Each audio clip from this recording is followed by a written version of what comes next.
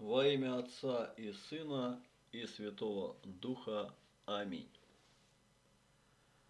Комментарии Игнатия Тихоновича Лапкина на толкование блаженного Феофилакта архиепископа Болгарского на Новый Завет, часть 28.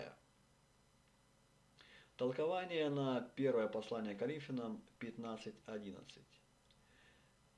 Я ли более потрудился, они ли, но в проповеди мы все согласны.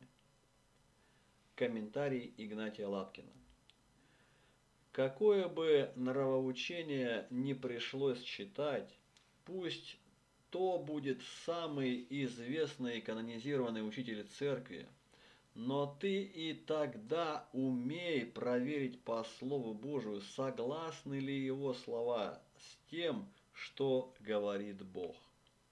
Проповеди апостолов, их послания не разнятся друг от друга и не противоречат одно другому. Но стоит почитать выступления архиереев в советские времена и сегодня – как они разнятся. Толкование на 1, толкование на 1 Коринфянам 16.23. Долг учителя не только убеждать, но и молиться, и таким образом вдвойне утверждать учением и низведением помощи свыше посредством своих молитв. 1 Коринфянам, ой, 2 Коринфянам 1.6, толкование. Мы могли бы провести жизнь в безопасности, если бы не проповедовали. Но теперь, когда проповедуем, чтобы спасти вас и утешить души ваши через проповедь и происходящее отсюда благо, подвергаемся скорбям. Ибо как я, проповедуя, терплю скорби, так и вы, принимая проповедь, терпите те же самые страдания, какие терплю я. Свидетельствует перед ними о их великой добродетели тем, что они приняли проповедь с искушениями.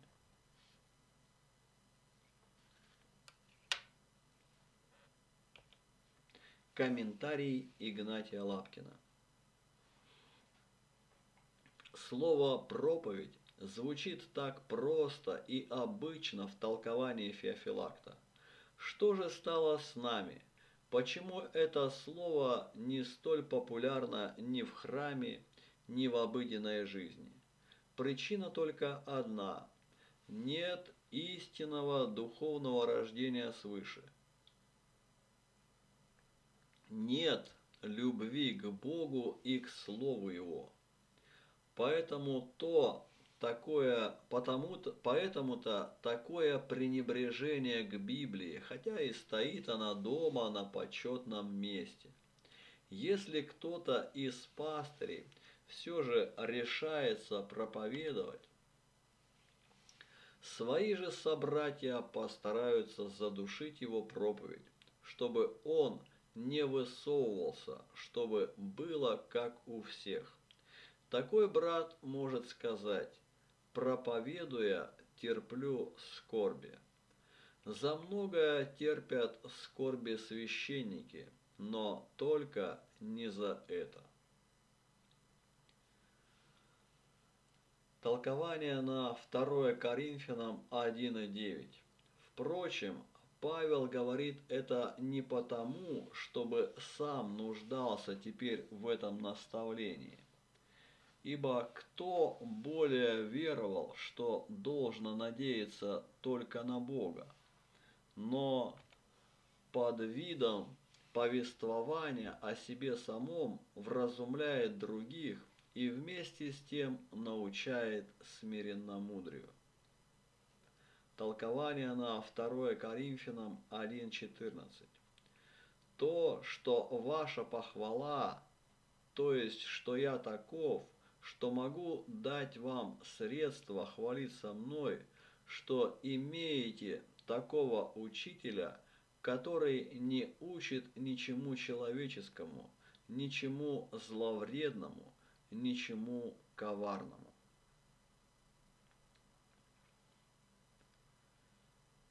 Комментарий Игнатия Лапкина.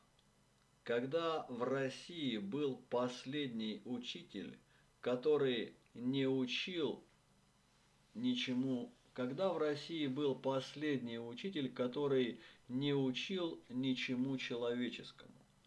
Чтобы ответить на этот вопрос, нужно знать Библию, Слово Божие, и по нему сверить все, что есть в ваших книжных шкафах.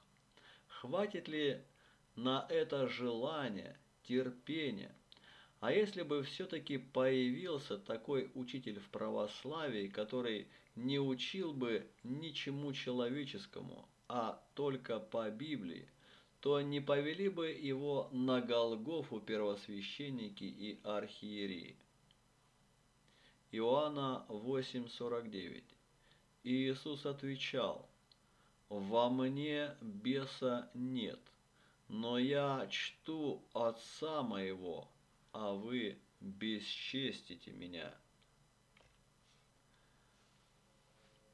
Толкование на 2 Коринфянам 1.18. В опровержение этого возражения говорит, что обещание прийти к ним было его делом, поэтому оно и не исполнилось. Что же касается проповеди, то она есть дело Божие, а что от Бога, то недоступно лжи. Комментарий Игнатия Лапкина. Сегодня делом Божиим пастырь считает уметь вести богослужение, справлять требы. Но вот что говорит толкователь. Что же касается проповеди, то она есть дело Божие. 2 Коринфянам 1.19. Толкование. Тот, кого мы проповедали вам, не был «да» и «нет». То есть не было проповедуемо одно ныне и ныне же другое, но было «да», то есть проповедуемо было твердо и без колебаний. Перечисляет также и многих из проповедовавших, представляя свидетельство их достойным веры, и в то же время научая смирению, ибо соучителями представляет учеников своих. 2 Коринфянам 2.12 говорит, что отправился в Трааду не без намерения, но для благовествования, то есть для того, чтобы проповедовать. Не поэтому, но потому, что вследствие его отсутствия дело проповеди встречало препятствия, ибо Павел сильно желал проповедовать, но препятствовало отсутствие Тита, который много помогал ему, когда находился с ним.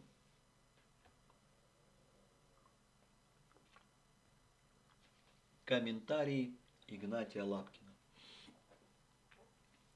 Почему сегодня во всех отчетах о поездке патриарха или архиереев говорят только о богослужении, литургии и ни одной обличительной проповеди против тех, кто стоит перед ними, кто разворовал страну, кто еще вчера был гонителем и разрушителем.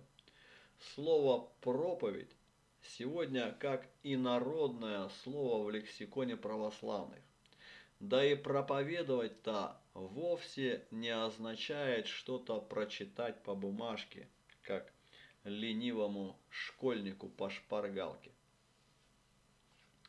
Почему с таким пустым сердцем и разумом пастыри бесстыдно выходят перед народом? Они вообще не желают доносить Слово Божие через живую проповедь народу. Слово «проповедь» – это изгой, будто чья-то выдумка из первых веков.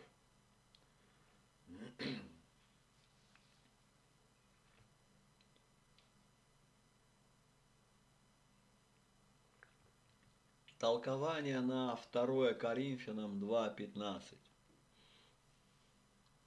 Как свет, хотя ослепляет слабых зрением, однако остается светом. И как мед, хотя бы казался горьким для страдающих желтухой, однако не перестает быть сладким, так и Евангелие издает благоухание – хотя неверующие и погибают. Толкование на 2 Коринфянам 2.17 намекают на то, что они примешивают к евангельскому учению ухищрения внешней мудрости и стараются продать за деньги то, что следует давать даром. Комментарий Игнатия Лапкина. Все, чем сегодня торгуют в церкви, пытаются оправдать Евангелием. И это есть кощунство. Словом Божиим оправдывают любые действия безбожных властей. И где бы какая кара Божия ни случилась, каких бы нечестивцев и богохульников Бог не покарал, там уже слышится бряцанье православных кадил. Уже совершают поминовения, совершенно не понимая, что они делают, навлекая на себя проклятие Божие.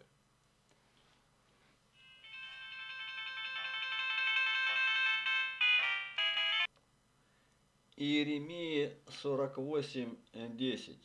Проклят, кто удерживает меч его от крови. Толкование на 2 Коринфянам 3.2. И куда бы ни отправились мы, всюду носим вас с собой, потому что вы написаны в нашем сердце – и мы всем возвещаем о вашей добродетели. Толкование на 2 Коринфянам 3.3. Воспользовавшись случаем сравнить закон с Евангелием, делает здесь такое сравнение. Как Моисей был служителем закона, так и мы служители вашей веры в Евангелие. И как он вырезал на каменных скрижалях, так и мы на ваших сердцах. Закон написан был чернилами, а Евангелие написано в вас духом. Толкование на 2 Коринфянам 3, 4, 5.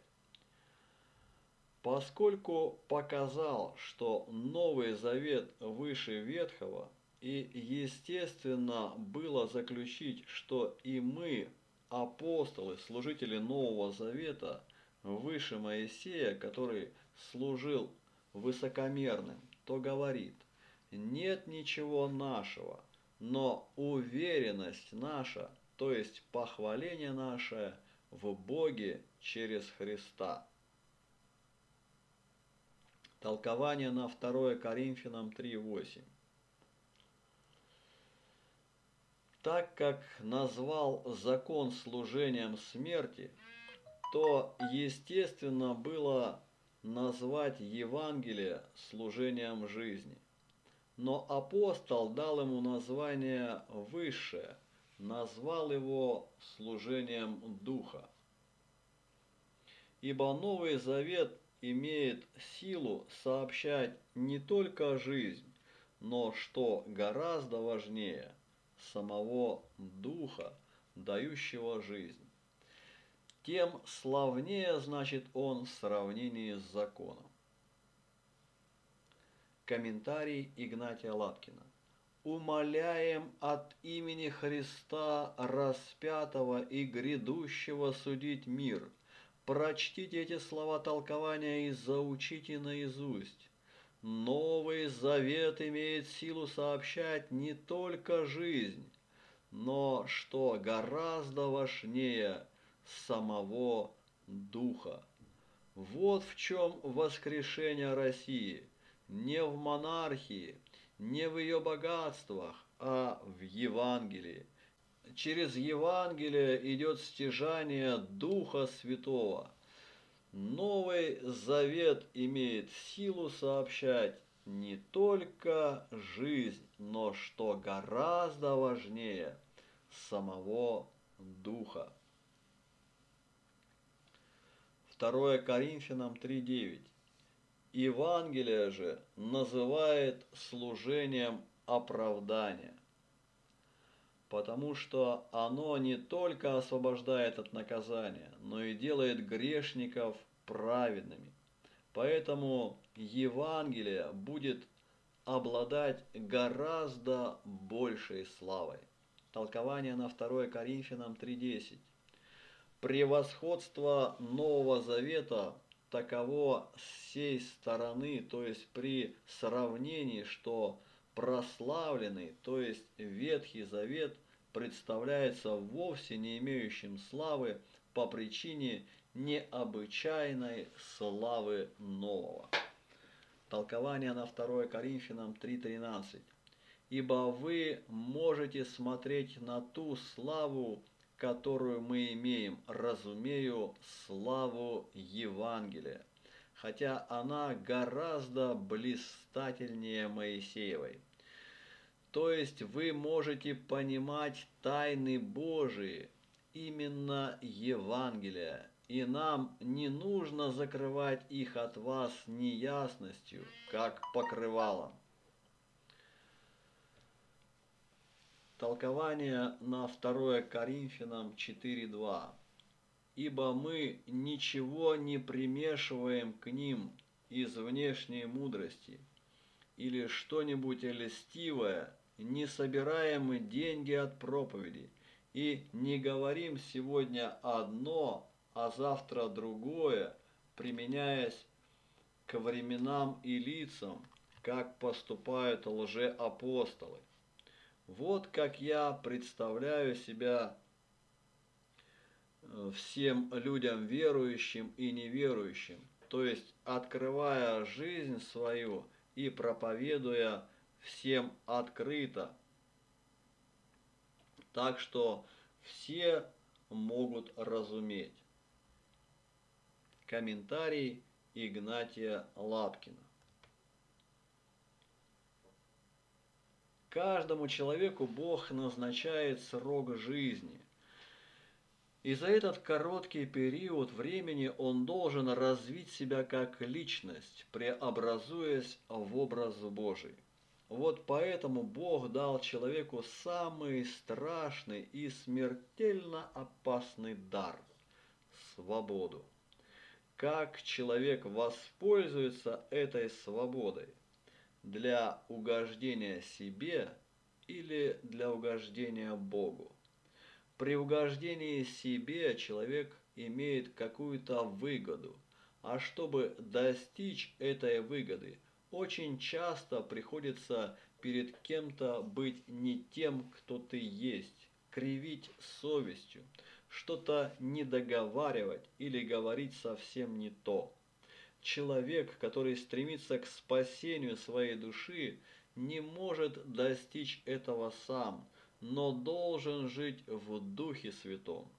Всю жизнь стремиться к стяжанию Духа Святого и говорить о Боге, о вечности, проповедуя всем открыто по воле Божией, о намерении Божьем в отношении всех нас – только тогда человек может развить свою личность, когда он воспользуется содействием Духа Святого, действующим через совесть. Если же человек будет зажимать себя, таиться, поддаваться смущению, ложному стыду, застенчивости и не будет прямо говорить о смерти Христа и о воскресении Христа, проповедуя всем открыто, этим самым он будет закрыт для доступа Духа Святого. И это дерево начнет засыхать. Какой страшный грех берут на себя священнослужители, когда не только не побеждают доверившихся им прихожан проповедовать всем открыто о Христе, но более того, всячески препятствуют этому и уничижают и клеймят тех, кто проповедует всем открыто. Толкование на 2 Коринфянам 4.4. Для неверующих, у которых Бог века сего ослепил умы, чтобы для них не воссиял свет благовествования о славе Христа, который есть образ Бога невидимого. Толкование на 2 Коринфянам 4.5. Теперь говорит, мы не обманываем, ибо проповедуем не самих себя, как лжеапостолы. Комментарий Игнатия Лапкина. Если человек, называющий себя христианином, не проповедует о Христе, это явный признак того, что он противится Духу Святому, и в нем нет любви ни к Богу, ни к ближним. Священное Писание не подтверждает того, что Бог установил именно такие длинные богослужения на непонятном языке без проповеди, без слова – которая бы доходила до ума и до сердца. Если сегодняшних священнослужителей поставить в положение апостолов, служить людям, но без сегодняшнего богослужения, что бы они делали? Представьте любого из них, стоящего посреди леса или посреди поля, и рядом пришедшие послушать их. На такое предположение многие священники в страхе всплескивают руками и говорят «Не приведи, Господи, со страху умру». Нужно помнить, что они должны сказать и словом, и делом. Мы не обманываем, ибо проповедуем не самих себя. Мы строим Царство Божие, устрояем его в себе и в людях, а в действительности получается, что строится царство попов с абсолютной тоталитарной зависимостью от вышестоящих, как в монашестве. Конец 28 части.